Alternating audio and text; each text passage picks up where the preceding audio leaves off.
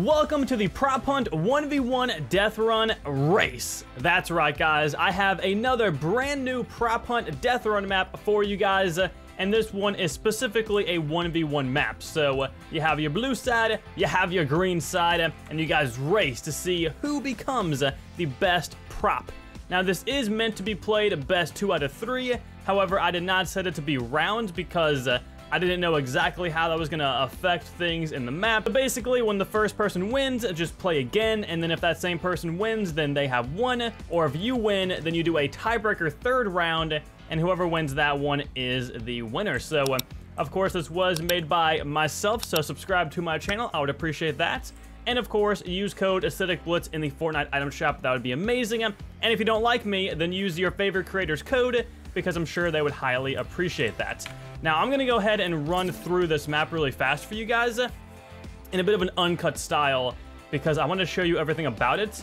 However, people seem to not enjoy when I kind of go through my maps and explain things, so uh, I'm going to try and explain things less. Obviously, you will see a few repeating things from my first map, which, by the way, if you did not play, I will have that linked in the description and in the top right of your screen, whatever way is right on my camera. And then just like that, you are done with the first level. So when you're doing this race, please make sure you read every single sign and transform into the new prop instantly. Because again, it is a race, but you still have to follow the rules of the death run, and those rules are turning into new props as you go throughout the map. And of course, never trying to cheat. And you have to collect every single uh, shoe, otherwise you won't win. So right here, pick up the fries, uh, go through all of the traps with the speed pad, bam, boop, there you go. That level is really cool for a few reasons. I will explain them after I'm done playing through the map. Do this first try. Yes, I can, there we go. You can like weirdly glide when you're a prop. So let's go in here go through the uh, the food parkour. You're literally a, a, food stand, not really a food stand, but you're just uh, a ton of food parkouring over more food. Literally my favorite type of parkour now is prop hunt parkour. It's so much fun. You will see, the very last level is hysterical. It looks amazing. So you go up the tires, go through these things that you cannot go under if you're human. Always cool. And then you're going onto the tires that you passed when you hit the geyser. So you're kind of using the same area for another jump, which is amazing. I might change this a little bit. There we go, made it. Just because there's a way to where you can cheat that, so if you do play the map and it is a little bit different, that is the reason why, which by the way, the map code is in the video description. I will try and have it in the very tippity top because people were confused as to where it was on my last map because I haven't published it yet, so you can't see it in the top middle. So yeah, just click uh, show more details there in the bottom and you will be able to see it. So here we go, moving on to the next level, we have some Neos. By the way, this map is a seven level map, so pretty short, but again, it's meant to be a best two out of three which is uh, pretty cool, pretty entertaining for YouTube videos, I feel. Now, now the, the exercise equipment does get affected by traps, so you want to evade them. I, of course, like doing it in my nice way. If you do that very, very well, some of the traps may not even go off, which is really, really cool. Oh, God! Or they will go off and you will die. Oh, my goodness. Okay, and if you do die during that point, I guess it's a good thing I did, you go all the way back to the Neos. So try and make sure you focus up right there and you don't die. The hitboxes are really weird, as I'm sure you guys could, could have told from the first Death Run map. Oh god, there we go, got it. And then jump, and we're good. Okay, and now we're transforming into a little janitor's set of items. I don't know why, why can't I think of what it's called? I have no idea, I'm literally brain farting right now. So you have some text here saying, are you winning? Just to kind of either make you sad if you're losing, or make you happy that you are indeed winning. And this is, yet again, some more Flappy Bird, because I think it's really cool. This is by far the best version of Flappy Bird in Fortnite, in my opinion. So you have a little stopping point right there, just to take a, take a breather if you need. And then, oh, we're going down. I kind of forgot. I literally just finished making the map. I built it all in one day, by the way, so pretty impressive, I'll have to say.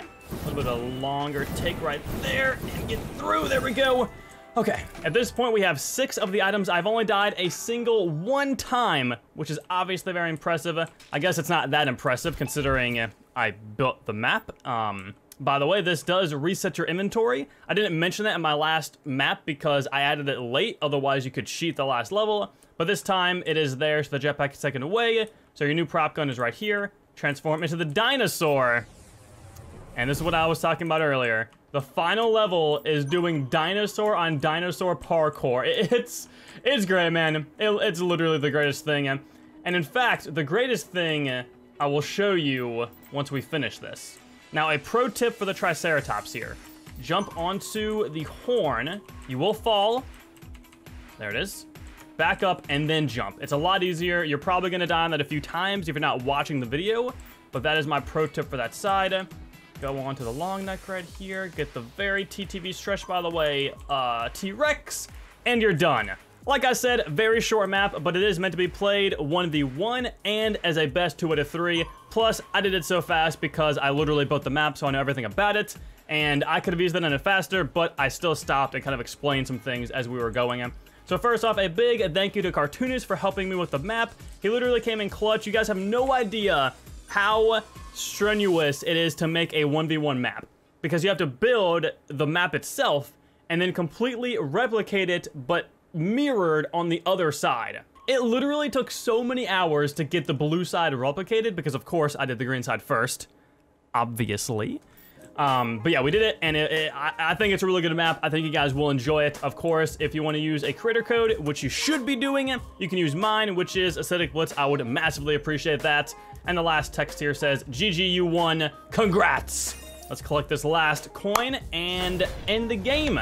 So there you go. So of course, if you are playing this in the proper way, you'll have just beaten your friend, and then you will be restarting the game again to get into your best 2 out of 3. Now, I would like to say a few things about the map, so if you don't like me explaining things, then now you can leave, but otherwise, if you want to stick around, then stick around. So, in my first Death Run map, I didn't show it on video because I hadn't made it yet, but there was a secret level. I do not want to show you guys the secret level, so if you want to go find it, go to my first Prop Hunt Death Run. I'll have it linked in the description. Play it and find the secret level. Only like six people have found it. And there have been a lot of people that have played the map, at least I'm assuming. I wish there was a counter. Epic, please add it. Thank you. But yeah, there's a point that says to tweet me if you found it and I've only been tweeted a handful of times, so go find it. But during that secret level, uh, I show you that there are some props that are affected by poison traps and regular traps and electrical fields and all of those cool things, which is why I figured in this death run, I wouldn't make that a secret, and I would just show you. Now, granted, in that first map, I didn't mean to make it a secret. I literally had no idea that those props could be affected. It's very weird. It's like very few props that can be affected, but then the majority of them can't be. So like the exercise bike can, the flying disc can, the magic carpet at full size can, but if you shrink it, it no longer can. It's very confusing on how it works. If any of you guys know exactly how to make them always get affected by traps, please let me know. But yeah, that is really all I have. That's all I really wanted to explain. Um, I would like to say that when you are hitting the geyser right here, you can basically control how you move as a prop by looking with your mouse or your uh, Joy-Con or your thumbstick, whatever it may be, whatever you're playing on. I don't like on your your phone, on your screen, whatever it is. Uh, if you look up, you will go up more. If you like look at a weird angle, you can kind of glide your way down like Buzz Lightyear. And if you look straight down, you will literally fall straight down. So make sure you look at a decent angle to where you can get on there. You can use these tires if you want. However, you do not need to do that as you've seen from this video. And again, like I was saying, I think what I'm gonna do right here is I'm gonna have this bolted up, and then once you get up here, you will be triggering um, uh, one of those explosive remote devices, and then it will open up that area, and then you can jump to it. Now, a quick disclaimer, if you cannot do that as a prop, I'm gonna have text here that says to turn yourself back into a human and then do it. I'm just trying to get that into this video now because I'm not sure exactly what I'll be doing. I mean, either way, if you try to cheat, like if you get on these tires and go this way and get down there to that checkpoint, you literally can't complete the map. So obviously, if you know that this is a thing and you want to try and cheat, it's kind of pointless because if you get to the end, it is physically impossible for you to win because you've skipped this specific item right here. So there's that. I will, of course, try to fix it. It kind of depends. I really wanted this to be like a going through and then coming, oh my... My bad. I did not mean to do that. Like I was saying, I was trying to make this level be one where you go through and then come back around and then kind of use it again to get to the next level. I think those are always really, really cool, as I'm sure you've seen from like the Flash Death Run. But yeah, guys, I think that is all we have for this video. I hope you enjoyed. I'm not going to run through the blue side because, of course, it's literally the exact same thing. One thing I do think is really cool is by pure accident, I managed to make the end directly behind the start. You won't know that unless you're watching this video, I suppose, but I think that was a really cool thing that I did on accident.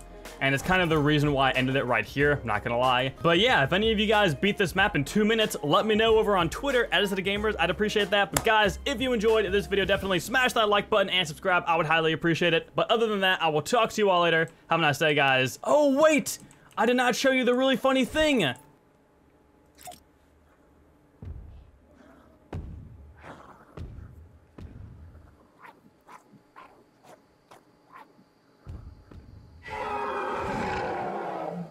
There you go. You can become a, a T-Rex and then do the roar emote. Looks hilarious, sounds hilarious. That is the funny thing I meant to show you. I do apologize for showing it at the end. I did not mean for that to happen. But yeah, now, without further ado, I will talk to you all later. Have a nice day, guys. Thank you all so much for watching. Peace out.